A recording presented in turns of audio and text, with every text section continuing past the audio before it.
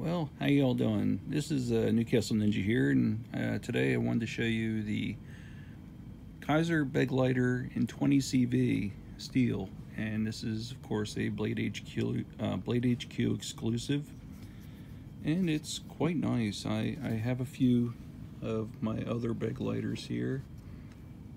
This is the standard in VG10, and I really like this one here uh, in the S35 VN steel and uh, carbon fiber handle with the Tanto point. It's pretty awesome. But this is truly uh, one I'm glad I held off for because unlike those other two, this does have a deep pocket clip and of course it is the uh, 20 CV steel and I'll tell you just feeling it out of box you can really feel the difference of uh, man it is hair popping shaving sharp and it's uh, the G10 on it is a nice type of uh, grip. Just like the standard Begleiter it's more or less mirrored exactly the same but of course uh, one difference is, look at that. This ball bearing action is just phenomenal. And not to say that the washers weren't bad with this one here, because although it's a uh, takes a little more work to close, it is smooth anyway. Um, now I do, one of the reasons I really like this one here is because of that fast, that fast smooth action as well. And very drop shutty, smooth. And of course, it's a beautiful blade they put on there. And the handle is amazing. But this here will be the new pocket carry for a while, I see, because uh, it's definitely everything I've pretty much look, been looking forward to with the Begleiter is that deep pocket clip and a better steel. So, but I got no problems against VG10 either. But this is quite nice and for the price that Blade HQ uh, offers it at, it's quite remarkable for 20 CV steel. So I'm glad I held off on the M391 because the difference I know is that this has a deep pocket clip and it does have the uh, ceramic uh, caged bearings in there unlike the M390 from what I've seen and uh, heard.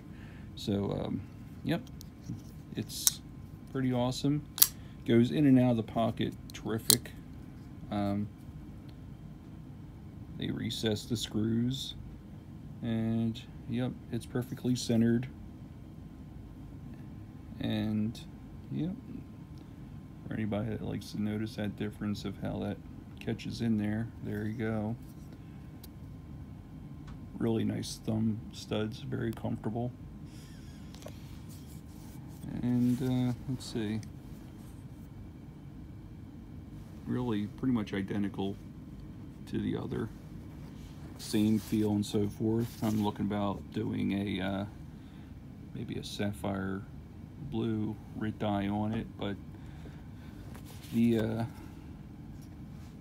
the plain G10 finish on this is it's quite nice. It's uh, does remind me a bit of some other knives. Um, here's the Imperium, just for uh, comparable options. Uh, other ones that you might want to compare the size to. Here is Ripple. This is a phenomenal knife if you haven't got your hands on it. Uh, the Petrified Fish 949, incredible. Speaking of petrified fish, got big old beluga.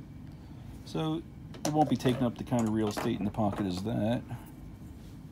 Another phenomenal knife here is the Wee um, in this milled titanium. But and last comparable option, this is the Asica by San Remo, or SRM.